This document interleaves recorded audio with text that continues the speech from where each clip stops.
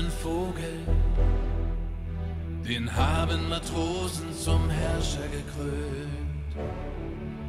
Er fliegt um die Erde, vom Südpol nach Norden, kein Ziel ist zu weit.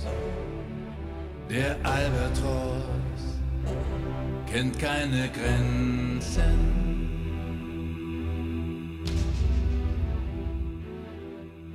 Er segelt mit Würde durchwandert die Lüfte, als wäre er ein Gott. Er folgt ihren Schiffen, auf Hochsee durch Klippen berauschend sein Flug. Er sucht ihren Weg durch die See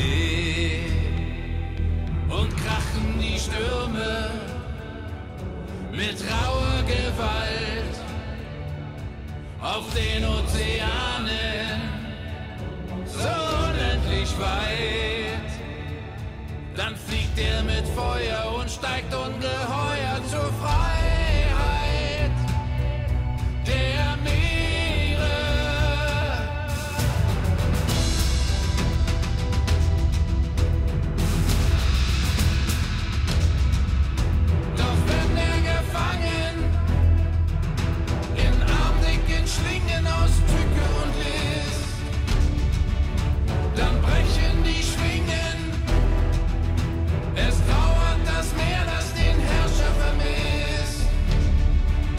Goodbye.